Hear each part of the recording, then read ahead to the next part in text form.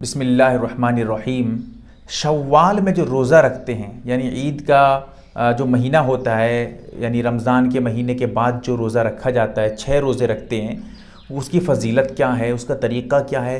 پوری ڈیٹیلز کے ساتھ ایک ایک جز آپ کے سامنے اس ویڈیو میں حل کروں گا۔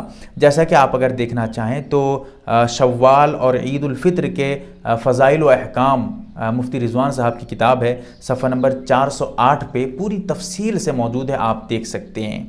نمبر ایک، حدیث میں آتا ہے، من ستت ایامن بعد الفطری کان تمام سنہ یعنی اس کا ترجمہ یہ ہے کہ ابن ماجہ شریف کی روایت ہے یہ۔ حدیث نمبر ایک ہزار سات سو پندرہ ہے۔ اس میں یہ بتایا گیا ہے کہ اگر کوئی آدمی یہ چھ روزے رکھ لیتا ہے اور رمضان کا بھی روزہ رکھا رہتا ہے تو ایسی صورت میں اس کو پورے سال روزہ رکھنے کا ثواب مل جاتا ہے۔ پوری تفصیل ہے اس میں ایک، کیوں ملتا ہے؟ ایک الگ بات ہے۔ کیونکہ اصل میں وہ وجہ بتاؤں گا تو لمبی بات ہو جائے گی، اس لیے مختصر اتنا یاد رکھیں کہ ایک اگر آپ نیکی کرتے ہیں، اس کا ثواب جو ہے آپ کو کم سے کم دس ملتا ہے، ایک نیکی کے بدلے میں، ٹھیک ہے؟ اگر آپ ایک روزہ رکھتے ہیں تو دس روزہ۔ تو اس اعتبار سے آپ نے رمضان کا روزہ رکھا ہے، تو لہٰذا پورے جو ہے تیس دن کا روزہ، اگر انتیس دن کا روزہ ہو تب بھی آپ کو تیس دن کے روزے کا ثواب ملتا ہے۔ اس اعتبار سے تیس دن کا روزہ ہو گیا تو آپ کو کتنے دن کا روزہ کا ثواب ملا؟ تین سو دن کا۔ اور یہ چھ دن اگر آپ اور روزہ رکھ لیتے ہیں تو ساٹھ دن اور ہو گئی تین سو ساٹھ دن کے روزے۔ مکمل ایک سال کے روزے ہو گئے۔ اگر یہ آپ تیس روزے رمضان کے اور یہ چھ روزے رکھ لیتے ہیں، تب جا کر یہ ثواب آپ کو مل جائے گا۔ اس کے ساتھ ساتھ یہ بھی یاد رکھیں یہ روزے جو ہیں، عید کے اگلے دن سے فوراً رکھنا ضروری نہیں ہے۔ لوگ سمجھ رہے ہیں کہ عید، کیونکہ عید کا دن جو ہے، روزہ رکھنا حرام ہے، اس دن روزہ ہوتا ہی نہیں ہے۔ گناہ کبیرہ ہے روزہ رکھنا، اجازت ہی بالکل اجازت نہیں ہے عید کے دن روزہ رکھنے کی۔ لیکن ہاں عید کے اگلے دن سے آپ روزہ رکھنا چاہیں گے، رکھ سکتے ہیں۔ لیکن یہ جو چھ روزے ہیں، لوگ یہ سمجھتے ہیں کہ عید کے اگلے دن سے روزہ رکھنا ضروری ہے۔ اگر اس کے اگلے دن سے روزہ نہیں رکھیں گے تو ہمارا روزہ نہیں ہوگا۔ یہ بالکل غلط بات ہے۔ آپ پورے مہینے میں، شوال کے مہینے میں، عید کے پورے مہینے میں آپ جس دن بھی چاہیں گے روزہ شروع کر سکتے ہیں، اگلے دن سے روزہ شروع کرنا عید کے یہ ضروری نہیں ہے۔ اور اس کے ساتھ یہ بھی یاد رکھیں، یہ جو چھ روزے رکھیں گے، مسلسل رکھنا، لگاتار رکھنا، یہ بھی ضروری نہیں۔ پورے مہینے میں آپ جس دن بھی چاہیں گے آج ایک آپ کی مرضی ہوئی، آج ایک روزہ رکھ لیتا ہوں۔ رکھ لیے ہیں، کوئی بات نہیں۔ جمعہ کے دن بھی روزہ رکھ سکتے ہیں۔ یہ روزہ جمعے میں بھی رکھنے میں کوئی حرج نہیں۔ عام دنوں میں مطلب اسی مہینے میں آپ کسی بھی دن، ایک دن، ایک روز، ایک دن روزہ رکھا آپ نے جمعہ کے دن، پھر آپ نے دو تین دن چھوڑ دیا، پھر اس کے بعد ایک دن اور روزہ رکھ لیا۔ اس طرح کرتے کرتے پورے مہینے میں آپ نے چھ روزے رکھ لیے۔ تب بھی یہ فضیلت آپ کو مل جائے گی۔ یہ بتانا چاہتا ہوں، لگاتار مسلسل یہ روزہ رکھنا آپ کے لیے ضروری نہیں ہے۔ الگ الگ کر کے، چھوڑ چھوڑ کے بھی رکھ سکتے ہیں۔ اور نمبر تین، اگر آپ کے ذمے قضا روزے ہوں آپ کا روزہ کسی وجہ سے چھوٹ گیا تھا، بیمار تھے، مسافر تھے، یا پھر جو ہے عورت حیض نفاس کی حالت میں تھی، یا کسی مجبوری کی وجہ سے آپ کا روزہ چھوٹ گیا تھا، یا کچھ ایسے کام پیش آ گئے تھے، عذر پیش آ گئے تھے جس سے آپ کا روزہ فاسد ہو گیا تھا۔ ایسی صورت میں آپ پہلے وہ روزہ رکھ لیجیے جو آپ کا قضا روزہ ہے، پھر بعد میں یہ روزہ رکھیے گا۔ کیوں؟ اس لیے کہ قیامت میں آپ کو یہ نہیں پوچھا جائے گا کہ آپ نے شوال کا روزہ کیوں نہیں رکھا۔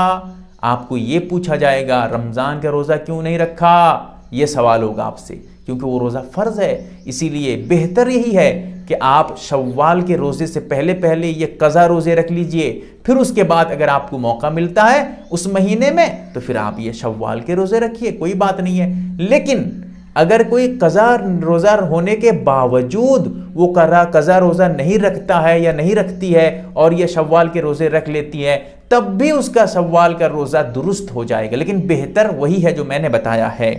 اور نمبر چار، کچھ لوگ یہ کہتے ہیں کہ یہ جو روزہ ہے، یہ زکوٰۃ کا روزہ ہے۔ زکوٰۃ کا نام دیتے ہیں۔ سراسر جہالت ہے۔ روزے کا زکوٰۃ سے کوئی تعلق نہیں۔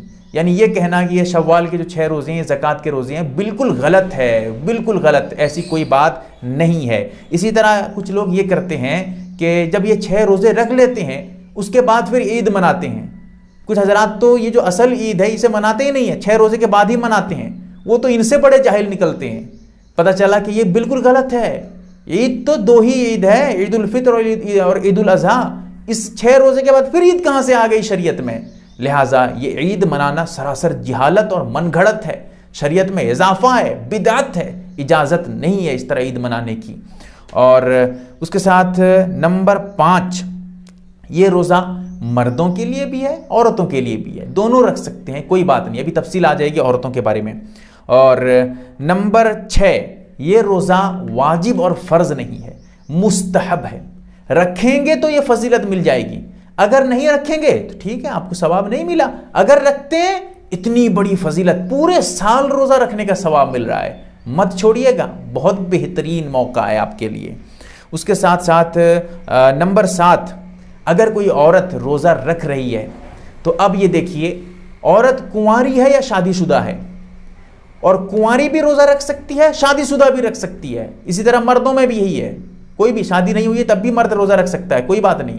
شادی شدہ ہے، تب بھی روزہ رکھ سکتا ہے۔ یہاں پر عورتوں میں ذرا تفصیل ہے۔ اگر کنواری ہے تو کوئی بات نہیں ہے، روزہ رکھ لے، کوئی حرج نہیں۔ لیکن اگر شادی شدہ ہے اور شوہر گھر پہ موجود ہے، اب روزہ رکھنے کے لیے شوہر کی اجازت ضروری ہے۔ شوہر کی اجازت کے بغیر اگر وہ روزہ رکھے گی تو سخت مجرم ہو۔ اسی لیے جائز ہی نہیں ہے شوہر کے جو ہے، شوہر کی اجازت کے بغیر یہ نفل روزے یا مسنون روزے، مستحب روزے رکھنا۔ شوہر کی اجازت لے کر روزہ رکھیں۔ ہاں اگر شوہر گھر پہ نہیں ہے، کہیں دور رہتا ہے، دور ہی ہے، باہر ملک میں ہے، آپ کے پاس فی الحال ہے ہی نہیں۔ اور آنے کا بھی اس کا مطلب جو ہے، وقت بھی نہیں ہے، وہ آئے گا بھی نہیں۔ ایسی صورت میں آپ اس کی اجازت کے بغیر بھی روزہ رکھ سکتے ہیں، کوئی بات نہیں۔ کیونکہ روزہ رکھنے کا جو منع کر کیا جاتا تھا، اس کی وجہ یہ تھی کہ شوہر کو ہو سکتا ہے کسی وقت تقاضا ہو جائے اور بیوی روزے میں ہو۔ اگر شوہر جمع کر لے گا، روزہ ٹوٹ جائے گا۔ اسی لیے شوہر کی اجازت ضروری کہی جاتی تھی۔ لیکن یہاں شوہر ہے ہی نہیں، تو پھر وہ تقاضے کی بات ہی نہیں ہے، روزہ رکھ سکتی ہے، کوئی بات نہیں ہے۔ ہاں ایک چیز اور ہے۔ اگر شوہر اجازت دے دیتا ہے کہ روزہ رکھو، کوئی بات نہیں۔ اب اس کے بعد شوہر منع نہیں کر سکتا، اجازت دینے کے بعد اپنی بات سے پھر نہیں سکتا لوٹ اپنی بات سے رجوع نہیں کر سکتا ہے۔ یہ جو ہے شوال کے روزے کے بارے میں میں نے پوری ڈیٹیلز کے ساتھ، تفصیل کے ساتھ مسئلہ آپ کے سامنے ذکر کیا ہے، آپ کو سمجھانے کی کوشش کی ہے۔ یم اے آر بی دینی معلومات چینل کو سبسکرائب کریں اور گھنٹی والے نشان کو ضرور دبائیں تاکہ ہماری ہر نئی ویڈیو آپ تک پہنچتی رہے۔ ویڈیو کو لائک اور شیئر ضرور کریں اور ہماری ہر ویڈیو آپ اپنی چینل میں ڈال سکتے ہیں۔ میز ہمارے ساتھ واٹس اپ پر جڑنے کے لیے آپ اپنا نام اور مکمل ایڈریس کے ساتھ ایڈ لکھ کر میرے WhatsApp number eight nine zero eight nine three nine three four three کو میسج کریں۔